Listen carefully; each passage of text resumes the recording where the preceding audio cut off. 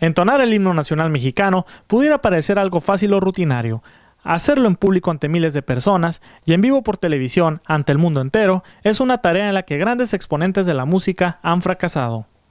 En alguna ocasión, su sueño fue ser protagonista de las grandes carteleras boxísticas.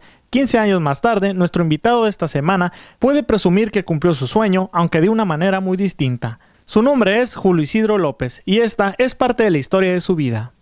Los 14 años empecé a practicar el karate aquí en, la ciudad de Mexicali.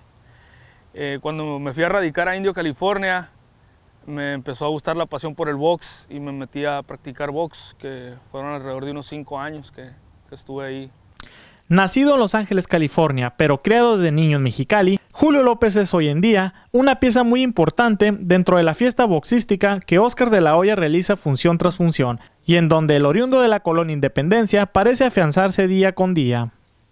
Mira, Memo, yo, yo allá en Indio, California, me juntaba con varios amigos que están en el, ámbito musical, este, y nos íbamos hacia karaoke y, y hacíamos ahí, pues, nuestras cantadas y todo ese rollo. Y, y yo entrenando en el gimnasio, en el gimnasio de box, siempre me la pasaba cante y cante y cante y cante. Cuando Abner cae para sus entrenamientos, sus campamentos, este, él, mismo un día me, pues ofreció, me dijo, ¿sabes qué? Este, sería una oportunidad para ti si quisieras entonar el himno para mi pelea que fue cuando peleó por el título mundial contra Anselmo Moreno. Entonces, eh, para mí fue una gran...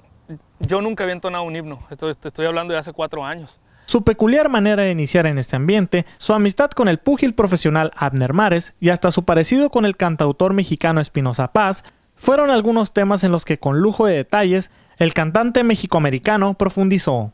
En aquel entonces, hace como unos cuatro años, yo le, empecé a seguir la carrera mucho a Abner Mares. Y Abner pues cayó en ese, en ese tiempo al gimnasio para hacer dos campamentos de peleas con el, con el coach Joel Díaz. Y fíjate que nos hicimos muy buenos amigos ahí, muy buenos amigos. Este, Abner, cuando yo tenía mi departamento en Indio, él, se quedó unas cuantas temporadas ahí. Pues nos hicimos muy amigos, él se quedaba en la casa y le empecé a seguir mucho su carrera a él. Sí, muchas veces, carnal. muchas, muchas veces.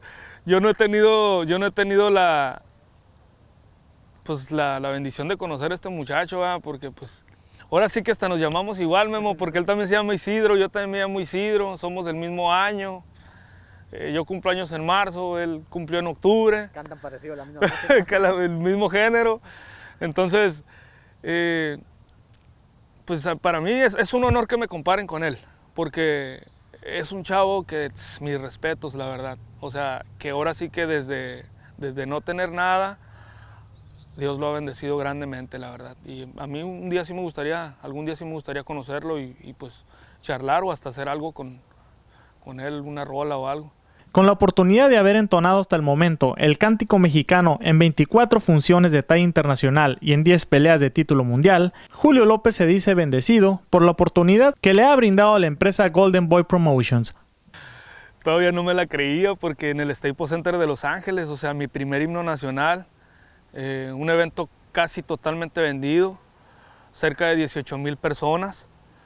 Yo cuando salía y miraba a todo el público y me metía porque Abner estaba calentando y me decía Abner, hey, ¿cómo te sientes Julio? Pues me siento bien, un poco nervioso, todo, todo va a salir bien. Me encomendé a Dios y, y gracias a Dios, fíjate, me fue muy bien, me fue muy bien. El señor Oscar de la Hoya ese, ese día me, me felicitó varias veces y fue cuando me dijo él que le gustaría que siguiera yo entonando himnos para la empresa. Y pues gracias a Dios aquí, aquí andamos todavía y pues se siente bonito que cuando ya termina uno de, entonar el himno se te acercan, hey, una foto, hey, lo hiciste muy bien, hey, qué padre entonas el himno de México, viva México.